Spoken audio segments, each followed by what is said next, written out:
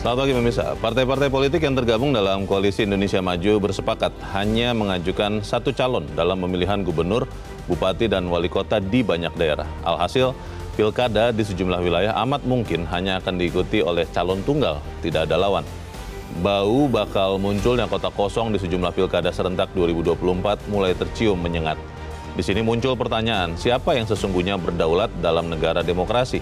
Rakyat atau partai politik? Pemirsa nilai editorial Media Indonesia di hari ini Selasa 13 Agustus 2024 dengan tema mencegah kota kosong pilkada bersama saya Leonard Samosir dan Anda semua para pemirsa juga bisa ikut menyatakan pendapat Anda nanti dengan menelepon nomor telepon 021 583 9900. Dan pemirsa pagi ini telah hadir bersama saya Ketua Dewan Redaksi Media Group Elman Saragi. Bang Elman selamat pagi. Pagi Mulyo. Sehat-sehat Bang? Sehat. Saya lihat abang tidak ada yang kosong, tidak bawa kotak kosong juga. Lagi kosong-kosong juga. Lagi kosong-kosong juga. Ini ini wacana yang semakin hari semakin kuat terkait kotak kosong. tapi kalau berbagai kesempatan, Bang Elman, saya juga sempat beberapa kali bertanya kepada partai politik, mereka selalu mengatakan itu tergantung aspirasi rakyat. Uh, kalau memang harus menghadapi kota kosong ya harus, tapi ya kita akan usahakan kalau, tidak. Kalau Leo saya tanya, yeah. kosong-kosong sama dengan omon-omon nggak? ya beda-beda tipis lah itu bang ya.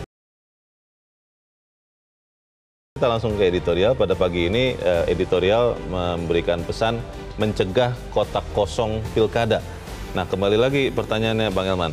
Kalau dari sisi legal formal, dari sisi aturan, apakah di dalam pemilu kalau dalam kaitannya pilkada kotak kosong itu boleh atau tidak bang? Boleh. Kalau, kalau memang boleh, kenapa harus dicegah?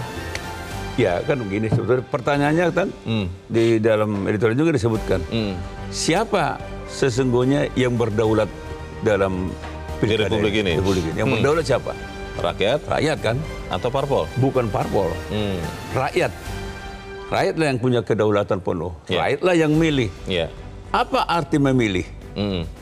Arti memilih adalah dia diberi, diberi kesempatan kalau memilih itu berarti kan lebih dari satu yang dipilih. Iya, ada beberapa pilihan. Ada beberapa pilihan. Mm. Tapi kalau, kalau hanya satu yang dipilih, alias calon tunggal, yeah. apakah itu disebut juga pemilihan? Ya, tidak. Walaupun di sampingnya ada kotak kosong. Pertanyaannya, apakah kotak kosong ini calon pemimpin? Hmm. Di sini kan ada calon tunggal. Betul. Calon pemimpin. Iya. Yeah. Katakanlah calon gubernur. Iya. Yeah. Sini ada calon kotak kosong. Hmm. Kalau yang calon yang calon tunggal ini kan orang nggak usah bertanya, pasti ini orang. Betul. Bernyawa. Ada fotonya. Ada fotonya. Ada paslon. Ada paslon. Hmm. Kotak kosong ini punya nyawa nggak nih? Enggak. Ini bisa jadi gubernur nggak nih? Nggak bisa. Nah, itu, itu, itu, hmm. itu jadi itu yang menjadi pertanyaan besar. Ketika rakyat nanti memilih kota kosong, yeah. terus akhirnya apa? Pilihannya itu berguna nggak? Hmm. Ya pasti nggak berguna, apalagi yeah. kalau yeah. yang menang kota kosong. Iya. Yeah. Dan itu pernah terjadi ya? Dan itu bisa terjadi. Di Makassar waktu Makassar itu. gitu kan. Iya. Terus pertanyaannya kita tanya sekarang kepada orang Makassar. Hmm. Kota kosong yang pernah menang di pemilihan wali kota Makassar itu iya. jadi wali kota enggak? Tidak. Tidak kan? Betul. Nah, pelajaran ini mestinya harus menginspirasi kita semua. Iya. Bahwa kota kosong itu bukan tidak boleh, hmm. tapi kurang kurang baik. Kurang pas. Ya? Kurang pas. Nah, yeah. artinya apa? Calon tunggal itu bagus nggak?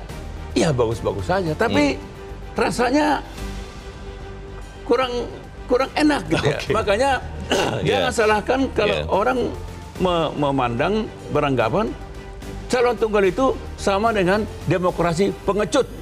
Baik. Kita akan bahas itu Bang Elman dan pemirsa nilai editorial Media Indonesia untuk hari ini Selasa 13 Agustus 2024 mencegah kota kosong pilkada.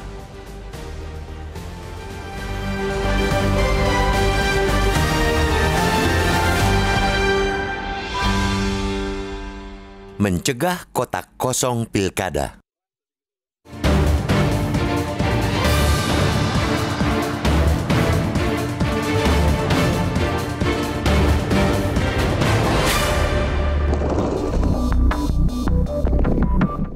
Bau bakal munculnya kota kosong di sejumlah pilkada serentak 2024 di berbagai daerah mulai tercium menyengat.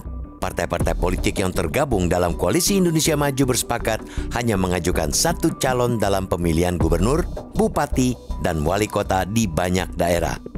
Alhasil, pilkada di sejumlah wilayah amat mungkin hanya diikuti oleh calon tunggal, tak ada lawan.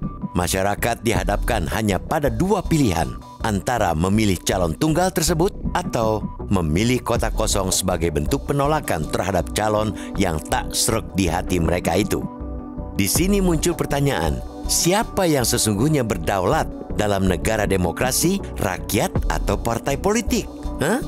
Fenomena bakal munculnya kota kosong dalam pilkada jelas sebuah kemunduran demokrasi. Bahkan bukan tak mungkin fenomena dalam pilkada itu terus menguat dan akan diduplikasi pada kontestasi yang lebih tinggi lagi yakni pemilihan presiden atau pilpres. Mekanisme kota kosong memang diatur oleh undang-undang. Cara itu dipakai sebagai alternatif agar tetap ada kontestasi dalam pilkada yang hanya diikuti calon tunggal. Jika calon itu memperoleh suara hingga 50%, ia langsung dinyatakan sebagai pemenang pilkada. Namun jika kota kosong yang menang, artinya lebih banyak masyarakat yang tak sudi dipimpin oleh calon yang diajukan partai-partai itu. KPU akan melaksanakan pemilihan kembali di pilkada serentak berikutnya. Sebuah kerugian besar tentunya jika kota kosong yang menang. tak ada yang menang di situ. Baik partai yang telah mengusung calonnya maupun masyarakat yang pada akhirnya tak punya pemimpin yang sesuai dengan pilihan hati nuraninya. Menilik dari situ, fenomena kota kosong bukanlah demokrasi sesungguhnya, bahkan jauh dari tujuan berdemokrasi, yakni terciptanya kesejahteraan dari, oleh, dan untuk rakyat. Dengan keberadaan calon tunggal, di situ tak ada pertarungan gagasan, yang ada hanyalah promosi gagasan dengan janji-janji yang manisnya tiada tara. Fenomena kota kosong bisa jadi buah dari dekatnya waktu pelaksanaan pemilihan presiden dan pilkada. Terbentuknya koalisi baru hasil pilpres mendorong. Terbentuknya koalisi baru hasil pilpres mendorong partai-partai bersikap pragmatis agar mereka bisa masuk gerbong pemerintahan. Jika ada partai yang berani mengusung calon berbeda dari pemimpin koalisi dalam pilkada, siap-siap saja tak dapat jatah menikmati kue kekuasaan yang akan datang sederhana sekali. Alhasil, partai-partai akhirnya membentuk sebuah kartel politik demi kepentingan elit partai, bukan kepentingan rakyat. Di sini, partai politik yang merupakan mesin demokrasi dapat dikatakan gagal karena tak mampu melahirkan kader-kader terbaik mereka untuk memimpin daerah. Fenomena kota kosong harus segera dihentikan, apalagi di setiap periodenya fenomena kota kosong di Indonesia kian meningkat pada Pilkada 2015, ada tiga daerah yang memiliki calon tunggal. Jumlahnya bertambah pada 2017. Ada sembilan daerah yang memiliki calon tunggal. Dalam Pilkada 2024, jumlah daerah yang punya calon tunggal diprediksi akan kembali bertambah, mengingat koalisi masih terus berproses untuk pemerintahan mendatang. Atas nama kekuasaan, kualitas demokrasi akhirnya dikorbankan. Hah. Menyaksikan maraknya kota kosong, masyarakat tentu tak boleh tinggal diam. Selaku pemilih, masyarakat mesti menggugat ketiadaan adu gagasan dalam pilkada. Masyarakat bisa memilih kota kosong sebagai bentuk gugatannya. Jelas merugikan, tapi akan jadi pelajaran berharga bagi partai agar mereka kembali cerdas berpolitik.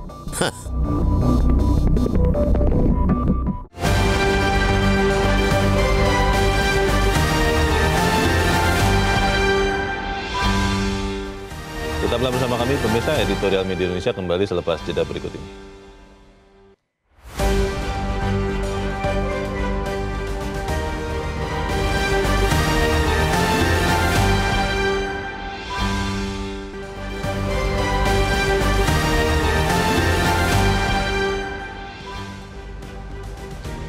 Terima kasih Anda masih bersama kami pemirsa di Editorial Indonesia dan sekarang kita mau bertanya dulu Bang Elman, kita uh, sudah tersambung lewat saluran telepon dengan Direktur Eksekutif dari Perludem, Koirunisa Nur Agustiati. Mbak Ninis, selamat pagi. Selamat pagi Mas Leo. Ya Mbak Ninis, kita melihat uh, walaupun secara peraturan legal formal kota kosong itu memang ada, boleh, tapi kita sangat menyayangkan kalau kemudian beberapa uh, daerah di pilkada ini nanti akan menghadapkan kota kosong kepada para pemilihnya. Pertanyaannya Mbak Ninis, kalau itu benar-benar nanti terjadi, Apa kabarnya demokrasi di Indonesia sebetulnya? Iya, uh, pertama tentu ya menjadi tidak sehat ya karena sekarang hmm. ini trennya kota kosong itu seperti apa ya, seperti diakali supaya hmm. kompetisinya tidak terjadi gitu. Kan hmm. Kan bagaimanapun juga yang namanya pemilu itu kompetisi antar orang gitu ya, adu gagasan, adu ide, yeah.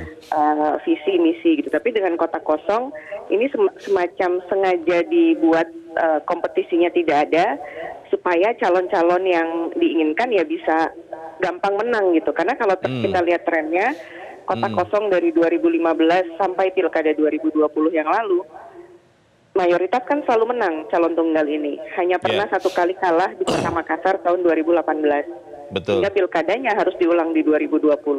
Nah yeah. sekarang ini bagi pemilih gitu ya, ini semacam buah si malakama juga mas.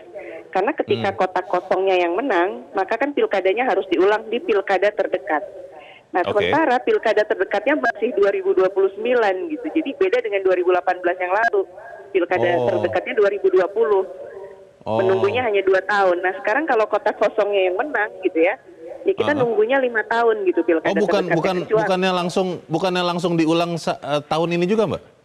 Oh enggak mas, diulang di jadwal pilkada oh. terdekat gitu. Jadi ya artinya kan kita harus menunggu lagi kecuali okay. jadwal pilkadanya mau ditata. Jadi yeah. ini semacam menghilangkan kota kosongnya dan mungkin mm. uh, apa tadi ya kalau diulang mungkin ya tadi ya pihak-pihak yeah. yang ya. merasa ingin cepat menang itu udah tahu ya akan nunggu lima tahun kalau kota kosongnya menang gitu ya nanti okay. akan ditunjuk yeah. penjabat gitu misalnya. Mm. Jadi ini semacam publik jadi nggak punya pilihan gitu loh. Yeah. Ya pilihannya ya memilih kota kosong atau menunggu, menunggu lima tahun lagi untuk ada pilkada yang diulang tadi yeah. itu. Jadi yeah. ini yang sebetulnya berbahaya juga buat demokrasi karena saya melihat kok partai-partai sekarang kayak nggak berani gitu ya atau tersandra hmm. ketika dalam proses pencalonan ini gitu. Hmm. Bahwa hmm. memang betul ada faktor uh, pencalonan kan memang susah ya, harus punya 20% kursi, 25% suara, yeah. sangat berat. Yeah. Jarang sekali ada partai yang bisa maju sendiri dan akhirnya mau nggak mau harus membentuk suatu koalisi. Nah hmm. sayangnya dalam membentuk koalisi pencalonan ini ya saling tarik penarik gitu loh. Okay. Mungkin ada yang tersandra, mungkin ada yang diiming-imingi uh, yeah. apa kekuasaan tertentu gitu. Itu yang terjadi hari ini. Kalau begitu, apakah kita bisa mengatakan sekarang partai politik itu memang uh, hanya menggunakan uh, para konstituennya dalam kepentingan suara, tapi tidak memperjuangkan untuk memberikan calon pemimpin daerah yang terbaik bagi konstituennya atau memang ya ini karena kondisi terakhir lah ada kekuatan yang begitu kuat mencengkram partai-partai politik ini, Mbak Ninis? Ya, saya rasa ya tadi ya partai politik sekarang uh, semacam ya sudah yang penting bagaimana kita bisa mendapatkan keuntungan gitu ya baik itu menang oh. ataupun mendapatkan keuntungan dari sisi yang lainnya. Oke. Okay. Jadi misalnya okay. kan kita dengar kemarin di media misalnya nanti biaya kampanyenya akan diganti gitu ya. Yeah. Kemarin yeah. sudah keluar berapa akan diganti. Ya pragmatis saja gitu. Nah, apalagi ya tadi ini kan pilkada sama pemilu di tahun yang sama yeah. akhirnya kan jadi apa ya jadi uh, bisa apa bisa saling sandra seperti ini gitu loh okay. begitu selesai pemilu sudah dilihat kekuatan masing-masing gitu ya masing eh, masing-masing bisa ditawari gitu ya apalagi yeah. uh, mungkin nanti akan ada yang tawari jabatan tertentu ya sekarang yeah. di masa-masa pilkada ini ya jadi momennya gitu jadi ketemu gitu kan Terakhir Mbak Ninis, kalau ini terus kita biarkan saja, rakyat maksud saya membiarkan saja, apakah artinya kita masih me bisa melihat pilkada yang berkualitas, Mbak Ninis? Saya khawatir uh, peluangnya jadi semakin kecil, Mas, karena tadi ini kok rasanya hmm. kemarin siapa ada memprediksi jumlah kota kosong mungkin akan menjadi dua kali lipat gitu ya. Wah. Kan sangat disayangkan gitu, apalagi kalau daerah-daerah sekelas provinsi calonnya yeah. itu calon tunggal gitu ya, daerah-daerah yeah. besar itu calon tunggal itu kan sangat disayangkan publik okay. jadi nggak punya pilihan. Tapi yang perlu di publik juga perlu ketahui adalah memilih kota kosong itu juga bisa dilakukan gitu ya. Tentu yeah. tadi bisa ada konsekuensinya kalau kota kosongnya menang, ya pilkadanya harus akan diulang lagi gitu ya, dan tidak akan okay. ada kepala daerah definitif. Tapi pertimbangan-pertimbangan itu perlu disadari oleh publik juga, karena pemilu ini kan bagian dari reward yeah. dan punishment publik kepada uh, partai yeah. politik juga gitu.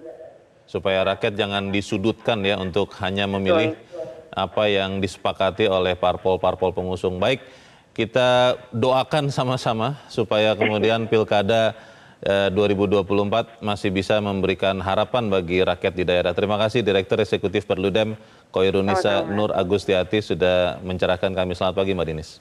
Selamat pagi Mas. Saya baru tersadarkan Bang Elman bahwa kalau kota kosong yang menang maka tunggu lima tahun lagi baru dapat kepala daerahnya lagi. Tapi kalau kemudian ternyata misalnya rakyat benar-benar memilih kota kosong ya bang, itu artinya apa bang? Ya artinya kan begini, ini kan sebetulnya kan kalau kota kota kosong itu harus di, diartikan sebagai protes sunyi sebetulnya, protes senyap, hmm. Hmm. protes senyap dari masyarakat. Karena disudutkan hanya ya. satu calon ini. Sebetulnya rakyat marah, hmm. Rakyat tidak suka dengan ini, ya. tapi rakyat tidak bisa berbuat karena kau tidak kasih sama saya pilihan. Hmm maka saya pilih kota kosong. Itu Jadi, terjadi di Makassar ini, ya? Ini sebetulnya pernah keputusasaan sebetulnya. Yeah. Dan ini yang ter, ini yang terjadi kalau main-main calon tunggal. Mm -mm. Artinya pemerintah penyelenggara negara mm. memang me, me, merelakan masyarakat putus asa. Itu mm. itu kan mm. logikanya begitu kan? Iya. Karena apa?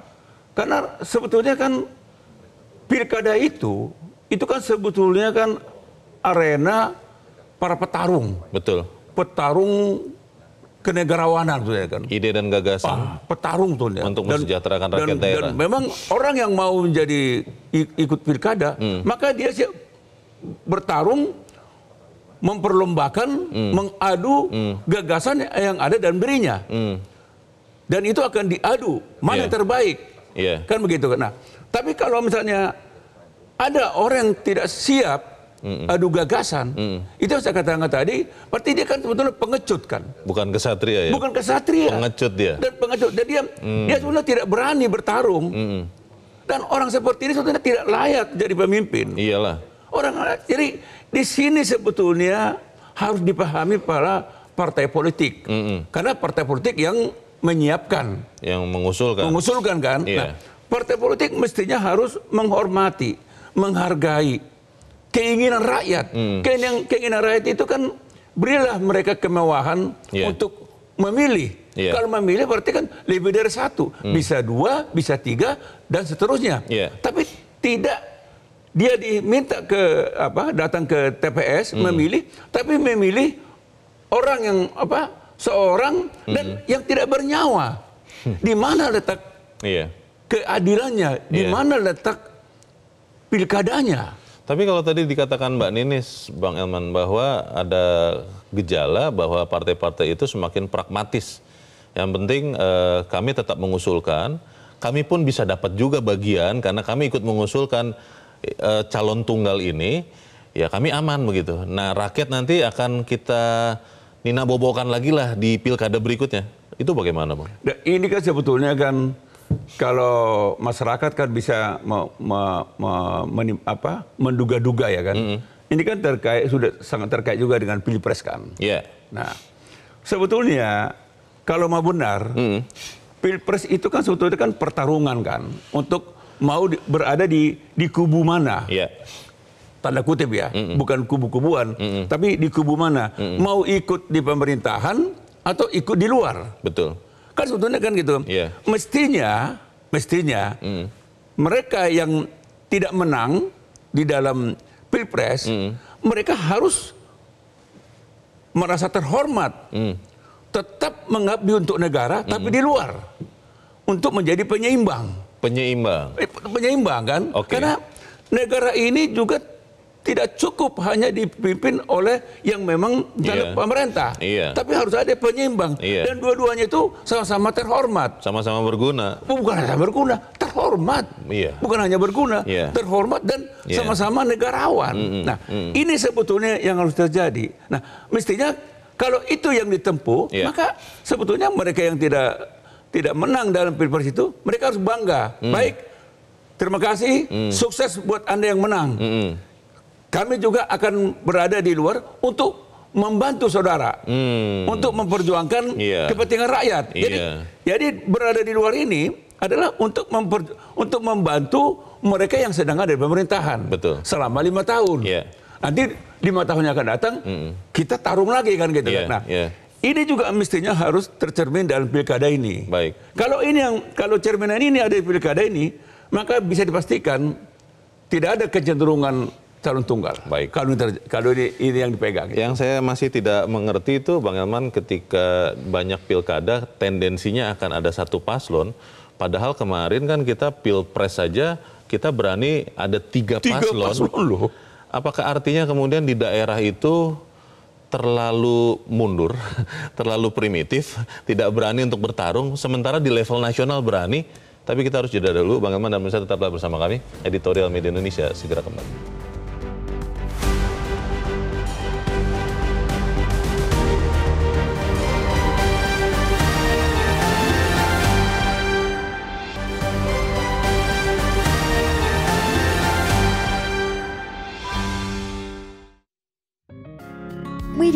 Indonesia mengajak Anda untuk mengakses fitur premium e-paper. Dengan sajian konten berbasis intelektual dan meneguhkan kebangsaan, Media Indonesia tampil dengan lebih dinamis melalui e-paper Media Indonesia yang dapat Anda akses kapan saja, di mana saja. Caranya mudah, download aplikasi Media Indonesia di Android atau ketik link epaper.mediaindonesia.com atau bisa scan QR code pada layar kaca Anda. Klik tab e-paper di bagian samping layar tablet Anda, daftarkan data diri, serta pilih paket perlangganan e-paper Media Indonesia sesuai dengan kebutuhan Anda. Nikmati juga bonus spesial tambahan 4 halaman rubrik fokus setiap hari. Semua bisa Anda dapatkan hanya di e-paper Media Indonesia. Untuk informasi lebih lanjut, hubungi customer service di nomor 0811 1201 2018 atau kunjungi media sosial at Media Indonesia. Media Indonesia, referensi bangsa. Terima kasih Anda masih bersama kami di Editorial Media Indonesia dan sekarang kita akan mendengarkan Bang Elman eh, pendapat dari para pemirsa Metro TV. Kita sudah terhubung dengan pemirsa Metro TV di Konawe Selatan, Sulawesi Tenggara. Ada Pak Ahmad. Pak Ahmad, selamat pagi. Selamat pagi, Pak. Selamat pagi, Pak Ahmad. Bagaimana Pak? Ini uh, ada kecenderungan beberapa daerah mungkin tidak sedikit juga pilkadanya hanya akan mengusung satu paslon dan satu kota kosong. Anda melihat ini seperti apa? Silakan Pak Ahmad pendapat Anda. Kalau saya kalau saya melihat fenomena kota kosong ini sebenarnya kesalahan dari undang-undang partai politik kita, Pak. Undang-undang partai politik. Kenapa, Pak?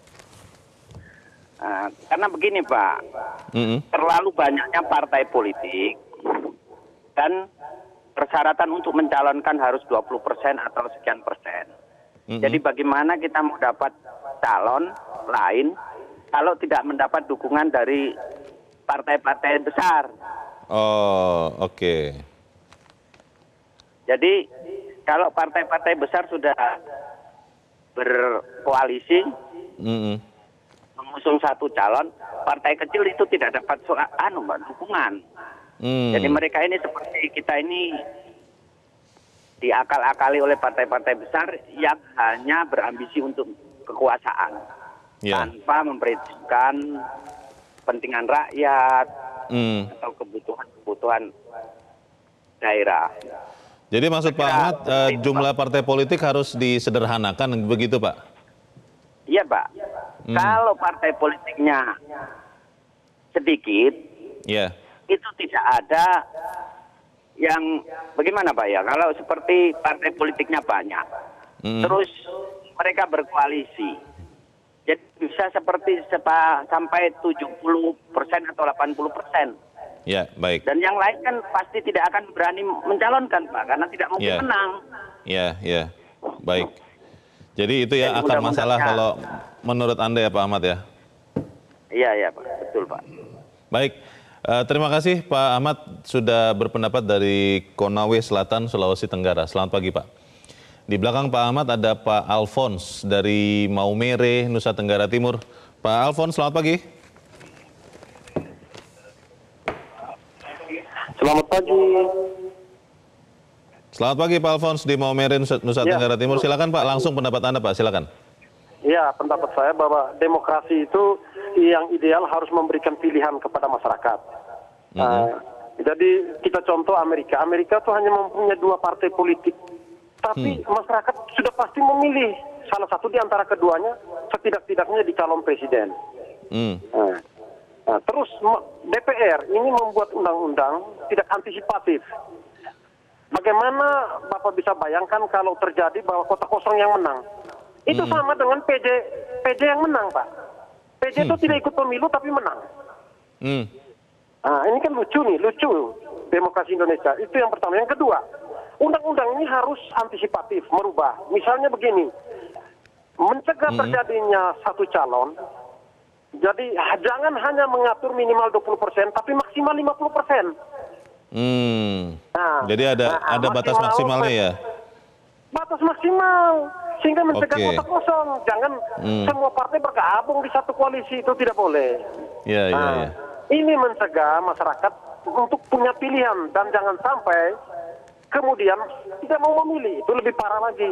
Iya. Nah, baik, terima kasih Bapak Leonard. Terima kasih. Pak Alfons di Maumere, Nusa Tenggara Timur untuk uh, pendapat Anda. Selamat pagi, Pak. Di belakang Pak Alfons ada Pak Ondo di Bekasi, Jawa Barat. Pak Ondo, selamat pagi. Selamat pagi, Bung Leo. Selamat pagi, Bung Eman Saragi. Selamat pagi, Pak Ondo. Silakan Pak pendapat Anda, Pak. Bagaimana ini uh, fenomena kota kosong nih, Pak? Iya, uh, ini mencegah kota kosong ini sulit ya.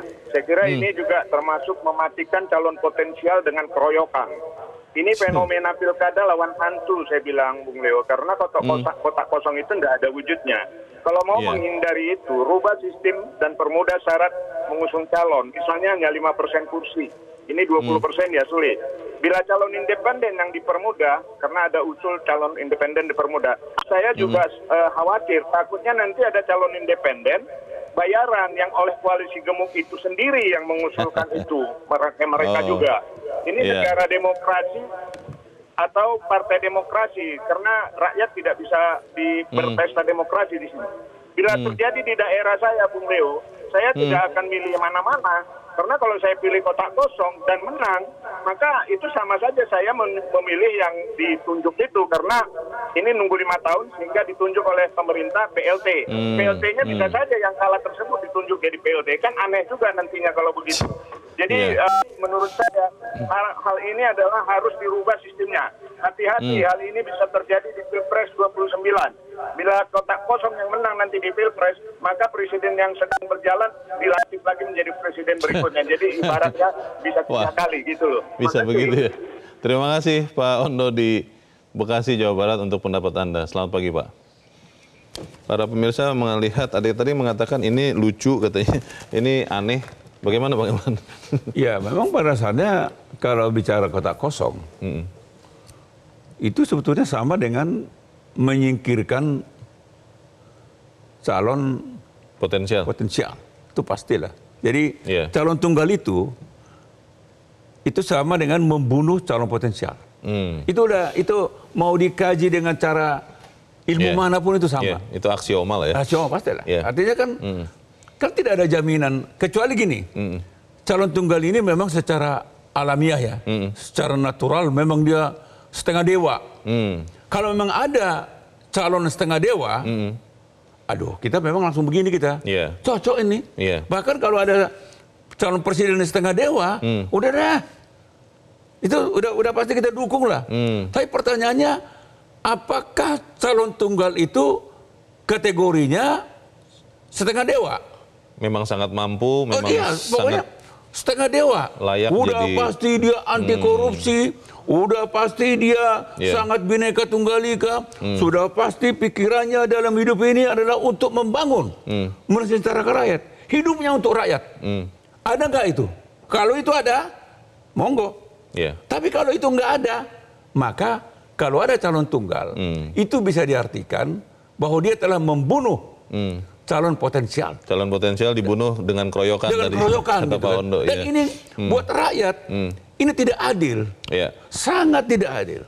Nah memang di, buat rakyat kan dilematis. Mm -mm. Kalau dia memilih kota kosong, mm -mm.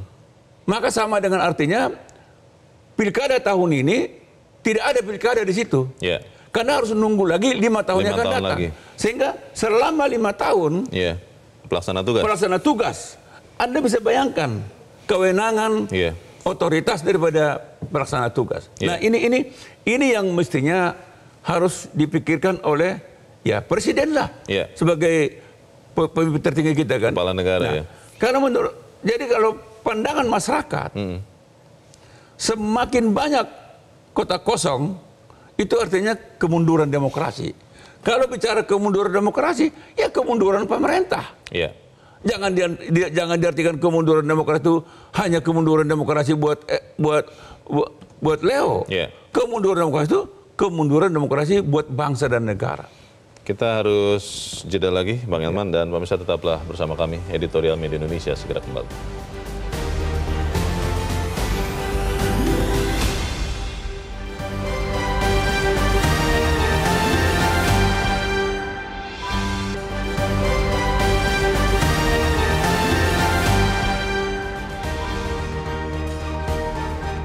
Kasih Anda masih bersama kami dan kita ada di bagian akhir dari diskusi kita pagi ini.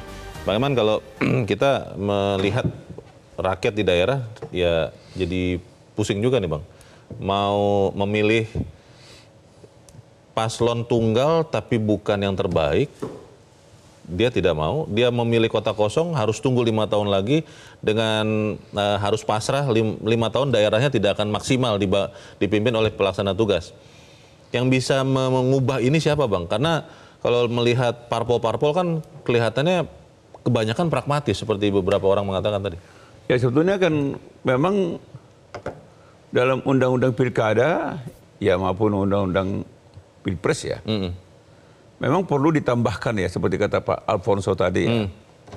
Jadi kalau misalnya kan untuk pilkada misalnya kan, yeah.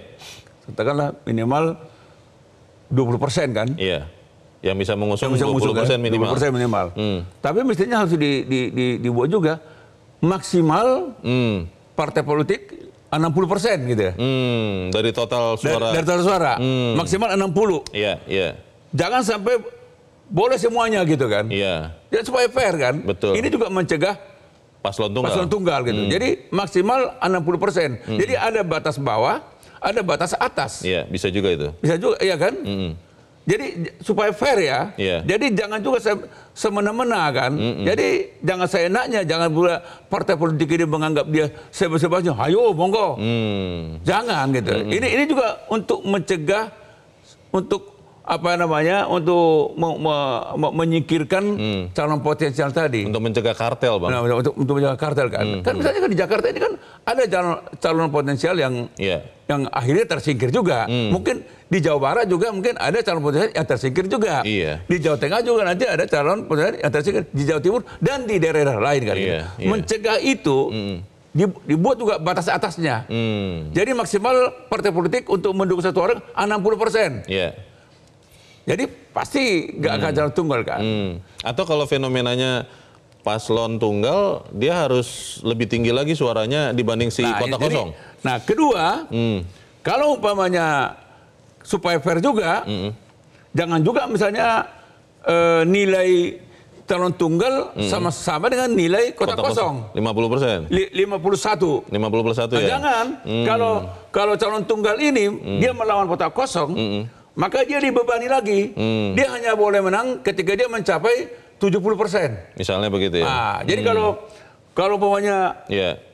uh, tiba-tiba kota kosong 31 persen, hmm. berarti calon tunggal kalah. Meskipun dia dapat 7, 69 persen. Nah, gitu. Yeah, jadi yeah, ini, yeah. jadi supaya yeah. jangan juga lah supaya sama-sama enak. Mm Jangan keenakan di calon tunggal. Mm -hmm. Demikian juga ini memang juga fenomena sekarang ini juga masyarakat juga sudah membayangkan yeah. jangan-jangan nanti untuk mencegah calon tunggal, mm. maka disiapkan juga calon boneka, calon boneka atau calon apa itu bayaran kan gitu kan kita oh, ini ini kan kita ada supaya kemudian tidak nah, kota kosong. Ini mungkin juga ini kan ini kan kita kan belum tahu nih yeah. siapa calon independen yang sudah yeah. lolos. Yeah. Ah jangan-jangan sebetulnya dia tidak lolos. Oh. Tapi karena ini masih masyarakat belum tahu, yeah. begitu ada bakal calon tunggal, mm-hmm. uh, dia malu, dia takut. Mungkin di situ ini ini ini juga yeah. ini juga rumors di masyarakat kan belum tentu benar kan gitu kan. Bang Eman, ini terakhir Bang singkat saja. Apa yang kita bisa titipkan kepada uh, pemegang kepercayaan kita sebagai rakyat supaya kemudian tidak ngakal-ngakalin, Bang? Ya, harapan kita kan gini, seperti yang saya utarakan tadi kan. Mm. Kalau semakin banyak calon tunggal, mm. Sebetulnya ini kan kemunduran demokrasi kan. Iya. Yeah. Kalau kemunduran demokrasi itu kan bukan hanya kemunduran demokrasi perorangan, yeah. kemunduran bangsa, kemunduran demokrasi juga ya pemerintah. Mm. Nah, apakah pemerintah sekarang ini yeah. mau dicap era dia terjadi kemerosotan demokrasi, kemunduran yeah. demokrasi. Yeah. Mestinya kan tidak. Yeah. Karena masih ada waktu, mungkin ada bagusnya presiden mm. memberi arahan. Mm. Jangan sampai ada calon tunggal. Mm. Kan boleh kan. Walaupun aturannya belum berubah seperti tadi Iya, nggak apa-apa. Tapi cobalah. Partai-partai politik juga yeah. sekarang ya introspeksi lah. Yeah. Karena kalau calon tunggal itu berarti dia tidak menghargai rakyat, hmm. tidak menghormati rakyat. Ya. Karena yeah. rakyat tidak beri, diberi kemauan untuk memilih. Tetapi Baik. seperti tadi, yeah. berburu di dalam kebun binatang. Yeah. Masa iya pilkada berburu dalam kebun binatang? Baik. Berburu dalam hutan dong, yeah. hutan belantara yeah. di Afrika gitu. Saya percaya Bang Elman bahwa uh, para pemimpin parpol masih tetap orang-orang kesatria yang bukan pengecut dan siap bertarung karena di level nasional sudah berani, masa di level daerah kita, tidak berani. Kita tertawa saja bila kau bilang Oke. Okay. kita harapkan itu terjadi. Bang Eman Sarigi, terima kasih sudah di tempat ini. Selamat pagi, Pak. Pemirsa atas nama kekuasaan, kualitas demokrasi akhirnya dikorbankan. Menyaksikan maraknya kota kosong, masyarakat, Anda dan saya tentu tidak boleh tinggal diam. Selaku pemilih, kita harus menggugat ketiadaan adu gagasan dalam pilkada. Saya Leonard Samusi berterima kasih Anda sudah menyimak editorial Media Indonesia satu pagi ini. Terus jaga kesehatan Anda, terus jaga nurani Anda. Selamat pagi, sampai jumpa.